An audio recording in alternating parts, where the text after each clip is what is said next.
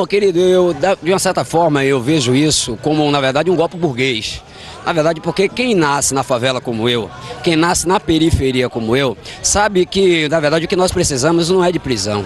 porque o, o, sistema tem violentado a gente de maneira horrenda, né? que nós sofremos todos os dias com os, os maus tratos do sistema público, né? com a falta de direito à educação, com a falta de direito à saúde, com a falta de direito ao transporte, com a falta de direito à cultura. Isso é coisas que nós vivemos todos os dias. E nenhuma cadeia, meu irmão, tem socializado de fato nenhum jovem, nem tem socializado ninguém. A gente tem percebido que, pelo sistema do país, já ser o sistema cárcere, já ser ser um sistema falido, na verdade, que precisa, na verdade, de uma reformulação, não é esse sistema, não é a redução da maioridade penal que vai fazer com que os nossos jovens, eles, na verdade, tenham educação de qualidade, que eles, na verdade, se integrem à sociedade. Eu acho que a partir do momento que o presidente Lula entra e faz com que a juventude tenha voz e vez, a gente passa, na verdade, a ser protagonista. A partir desse momento, construindo o Estatuto da Criança e do Adolescente, construindo também, na verdade, o Estatuto da Juventude, que é a partir desses instrumentos que a gente tem que, na verdade,